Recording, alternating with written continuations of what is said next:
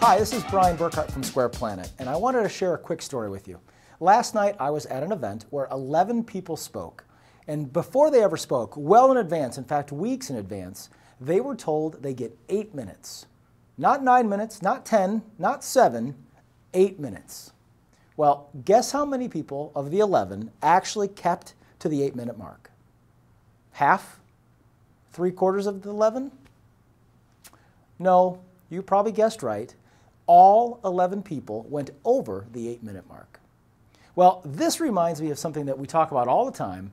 The one huge rule that presenters make the biggest mistake on all the time is that they're selfish.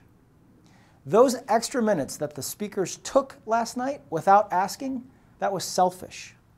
Because they didn't practice or prepare properly, they behaved selfishly.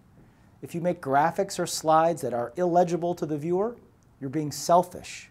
If you haven't really thought what your content should be and developed your story into the precise thing that it needs to be, you're being selfish. So don't be. Don't be selfish. When you're given a timetable, let's say in this case eight minutes, practice. Make sure that your material fits within the eight minute mark without going over. Thanks for listening. I'll talk to you soon.